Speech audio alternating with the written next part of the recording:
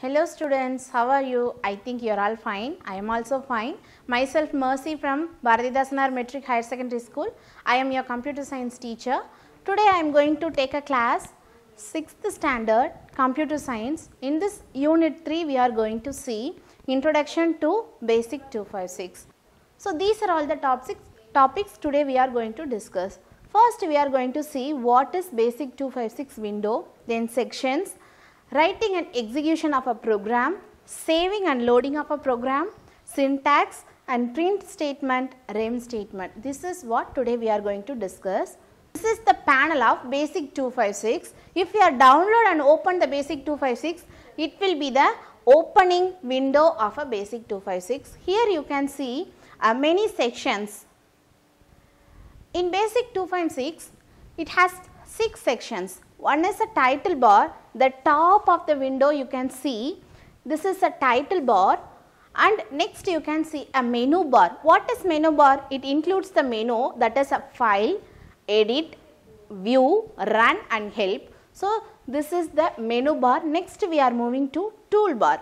So, here we have a tools, we have to create a new file, open a file and save, then run and debug. These are all the options in toolbar. Next we are most used process program area. Here we have to write the program and next we can see a text output area. This is the text output area. If you run the program, the text will be appear here. Otherwise, if you run the program, the graphic output will be appear here. So, this is all the sections of basic 256. Next, what is typing and executing of the program.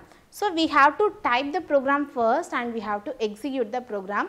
Today we have to see a simple program about say. Say means sollun. So, if you are using say, the computer will read the program. I am using say, hi Hari, how are you? I am fine here. So, this is my program. I am going to execute, I am going to write the program and I am going to execute the program. So, I am complete the program, then how can I execute? First, I have to click run option. In a menu bar, I have to click run. Otherwise, I can press a 5, F5 key, it will execute the program. Now, we can see on example program. Say, then you have to write the program in between the double quotes. It will read the program. So, I am writing say, then double quotes, hi Hari, then say, how are you, then say, I am fine here. This is what my program. I am going to run. So, first I have to click Hi. run. How are you? I am fine here. Yes. So, this is what the output of this program. After run, the computer will read the program. Hi Hari, how are you? I am fine here. This is what the message. You can press F5 instead of pressing run. So, F5. Hi, Hari. How are you? I am fine here. So, this is the output of the given program. So, next we are moving to saving and loading the program. Yes, I complete my program, then I want to save means first you have to go file menu, in that below you have to click save. After that you have to give the name of the file. Uh, I am giving the name Hari because my friend name is Hari. So, I am saving Hari. After I have to give save means the program will be saved where I want to save maybe a desktop or C drive, D drive wherever you want to save you have to select the location and you have to give the save option. So, next we are moving to syntax. So, what is mean by syntax? In your max you are using formulas for doing sums. Here we are using syntax, the rules for writing instruction in a programming language. It is a rule to write the instruction in a programming language. If you made any mistakes in the syntax, it will produce the error, it, in, it will indicates the error. So, you have to rectify the error and you have to run the program. Now we are going to see a print option. So print option அப்படினா என்னன்னா நம்ம ஒரு program we are going to write on program and we are going to execute the program using the word print. So now I am execute the same program there I am using say here I am using print. So print I am giving double quotes and hi Hari. So next print how are you next time print I am fine here. Yes I am fine here. So hereafter I am going to run the program means it will appear in our text output box. So let's see how it will be appear. Here we are going to see a print a program. So we have to use the word print. After that you have to give the double quotes. In between the dou- double quotes you have to write the message what you want to output. What you want to produce the output. So here print. Then i am giving hi hari. Next i am going to print. How are you? Next i am going to print. I am fine here. This is my program.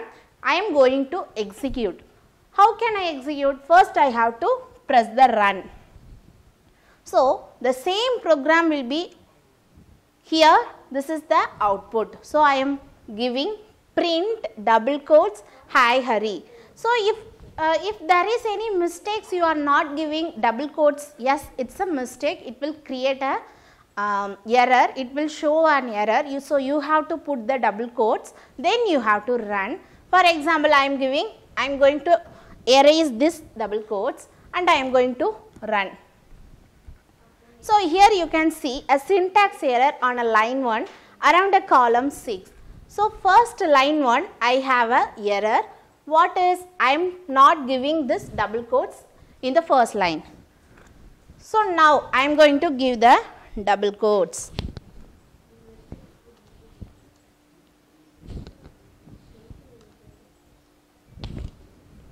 Next I am going to run the program. It will produce an output. Next, we are moving to print the statement. Next, we are moving to rem statement. What is rem statement? Everyone using the statement that is you are going to use hash that is called rem statement in basic 256. The rem statement, what is the use of rem, rem statement means?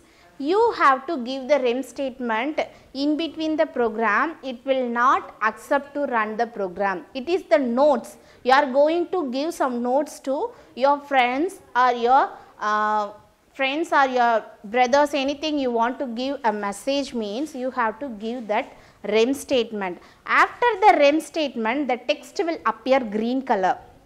Let's show. So here I am going to write something. I am giving rem. So, this is my program. Okay. So, here I am using rem statement. After the rem statement, the text will appear green color. What is the mean of this rem statement? It will not accept by the program, but it gives some uh, reference, it gives some messages to the programmer. So, regarding this program, you can give a notes or you can give some advices based on the program using this REM statements.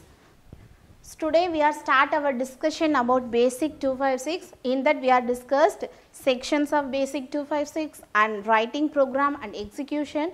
Next how can we save the program and print options then we are additionally see the say options after that REM statement. This is what today we are discussing. Hereafter we will go for some other topics in the basic 256. Next classes we are moving to uh, loops and if conditions.